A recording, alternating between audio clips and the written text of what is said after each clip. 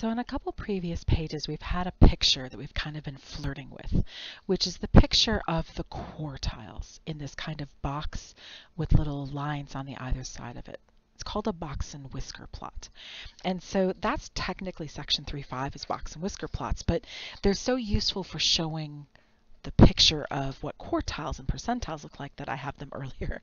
So this is technically section 3.5 box plots also known as box and whisker plots. I think for obvious reasons, because it has a box with some whiskers on it. Oh, and before I go any further, I actually need to switch the pagers. Okay, so confession time. When I first made these videos, I made them with more with a TI-84 than StatCrunch, and also with a different program to make the graphs. It's not important. It's called Minitab but Minitab aligns pretty well with the TI-84. So this box plot is the box plot of the data we just looked at. However, I'm going to change this in next semesters to this box plot. so this is the one from StatCrunch. I'm going to show you how to find it. So if you're watching this in spring of 2023, I'm actually going to put the link to this page, this just this page, in the description for this video. Um, here, I'm just going to rewrite that. Box and whisker plots, aka box plots, right? This is section um, 3.5 officially. Technically, the five number summary was in there also, but I don't know why because it's really a 3-4 thing. Anyway, so I'm going to change this graph for all future iterations of this course pack. So if you're watching with the old iteration, the old graph, it's fine you can probably just kind of write it the way you need to. But if you want this new version, I'll put the link to just this page in the description so that you could print out just this page if you wanted to. Because the box plot does change when you're using StatCrunch versus Minitab, which was the program I was using earlier. It's not a big deal. Um, it's based in that comment that I made a previous video about, which is that different uh, computers, different calculators calculate Q1 and Q3 differently.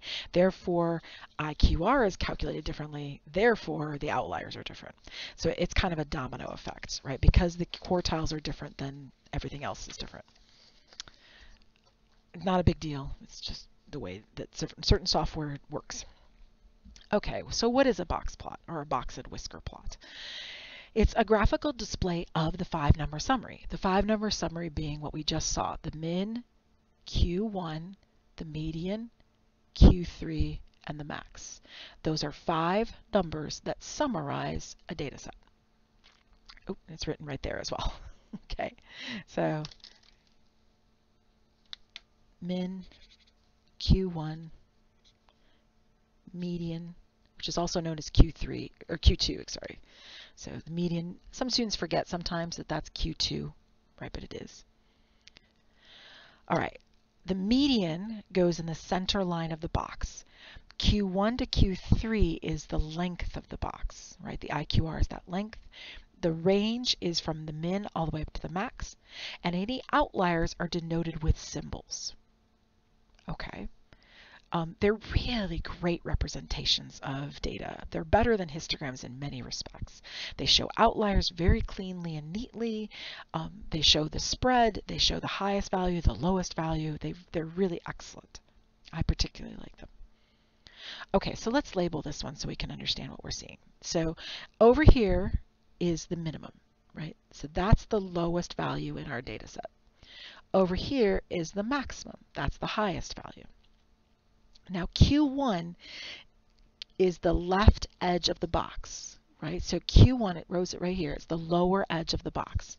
So this is Q1 right here. This line right here is Q2, which is the median. And this is Q3. Now you'll notice they're not all equally spaced. That's not what this is a graph of, but they do all have equal percentages. That's what's key. 25% of your data fall here between that minimum and that Q1, right? Because Q1 is the 25th percentile, right? So this is P25. So of course 25% are at or below that value. Then another 25%. I don't know how well this is going to show up. This is blue ink here. Yeah, 25% is in here. Another 25% is in here. And another 25% is over here. Is right there. Right, so each of those sections. This left whisker has 25%, this left box has 25%, the right box has 25%, and the right whisker also has 25%. Hence, it's often called a box and whisker plot. Now we know these values because we calculated them already. We found them in a previous example. I can flip back a couple pages to find them. The median was 84, Q1 was 77, Q3 was 88. So this was 77, this was 84, this was 88, this was 93, and over here was 54. That was the lowest data point. And you can tell what they are just by looking, right? That's falling at about 77. That number's falling at 84. There's a number line down here to help you make those connections. That's 93. That line right there is 88. And then way over here is 54 from that dot all the way down. Right? So the number line is given on the x-axis in order to help you calculate scores. I mean, if you didn't know these values ahead of time, though, you'd just kind of eyeball them. You just kind of guess. You'd be like, I think that looks about 77. You know, as long as you're close, your professor will give you credit. Okay, so we labeled the five number summary on the plot. Lovely what proportion of the scores lie between, all right, I'm going to have to change these for, for future. So I'm going to change these right now. Um, again, because when I did this, I was originally doing this with the TI calculator. So we're going to change these values right now on the fly, and then next semester all they will be correct. So I think I was going for between Q1, which is 77, and Q3, which is 88. Well, between 77 and 88, would be 50%, right? Because there's 25% here and 25% here. What proportion of scores lie above, and again, that's going to be, these are old values, so I'm going to change that to a 77. Those were values that came from the TI calculator.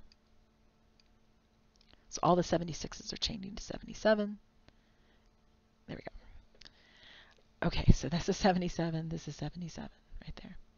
So above 77 would be 25, 25, and 25, which makes 75% in total. What about below 88? Well, 88's right here, so below it would be 25, 25, and 25. This whole thing is the whisker. The whisker is not just the line, it's the line and the dots. They all count. So that's 75%. What proportion of the scores lie between 54 and 77? Okay, 54 is here, it's the min. 77 is right here, it's the Q1. That's Q1. 25% are there. Because that's what the quartile is. All right, so to what number does the left line extend? Explain. All right. Well, let's look at it. so the left line is this bit right here. So what number is that going to? And the answer is it's going to 70. So now why 70? What is going on? It's points. Okay. Okay, well, if we look back at our data set, we can see that we have a 54, a 56, a 60, and then a 70, 70, and so on. So the reason it's going to 70 is because that's a number that's in the data set that is not an outlier. These three were determined to be outliers using our method right here. So we said 54, 56, and 60 are all outliers.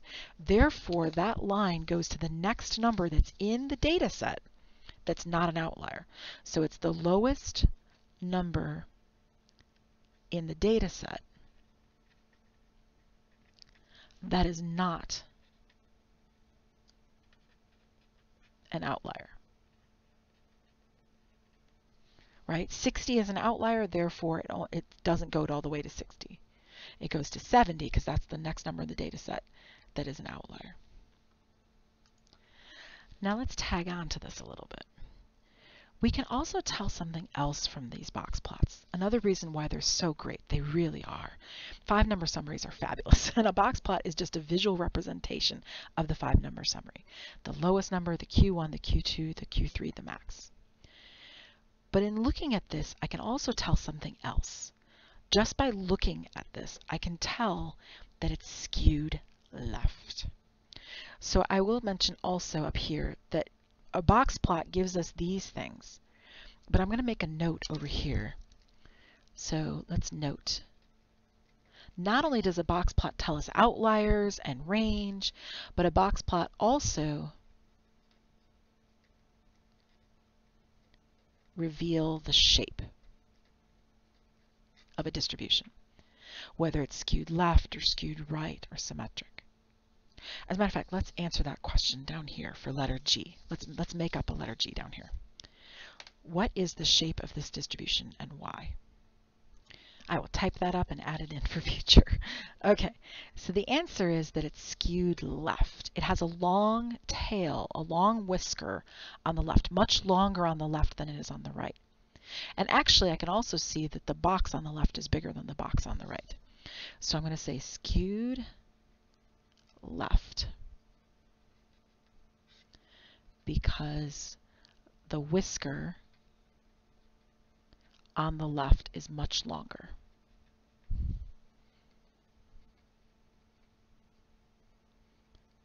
than the right. I also want you to remember and note that that whisker includes the dots. Oops, includes the outlier dots. They're part of it, right? So of course it's skewed left. It has low outliers. if it has outliers on the left, it's going to be skewed left. And the box plot shows us that with its lovely picture.